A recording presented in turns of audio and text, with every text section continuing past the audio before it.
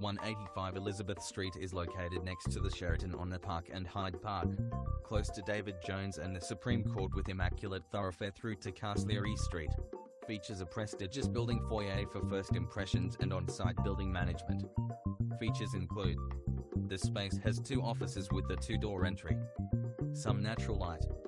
Available. ASAP. Lease until the 31st of December 2020.